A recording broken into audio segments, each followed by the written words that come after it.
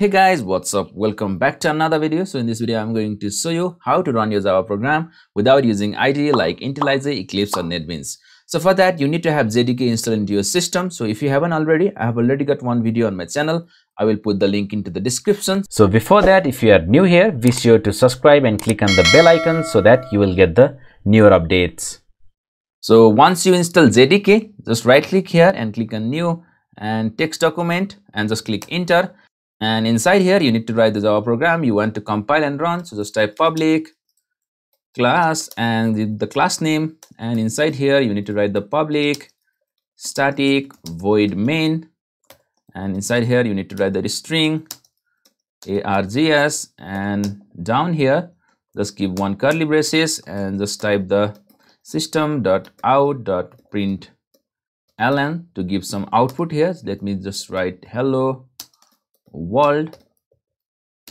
And exclamation and close the bracket and semicolon and also the curly braces. And if i just click on file save as and just choose the save as type all files and you need to give the class name. Just give the hello and dot java extension. And if i click on save so this will save our file as dot java file. So once you save this file just open the command prompt and we need to navigate to the desktop. So for that just right click here and click on properties. And you just need to copy this location here. Let me copy the location and just type cd and paste here and just click enter. So this will navigate us to the desktop. So once we navigate to the desktop just type javac and hello dot java. So this is the java file name and if i just click enter so this will compile our hello.java file into the class files.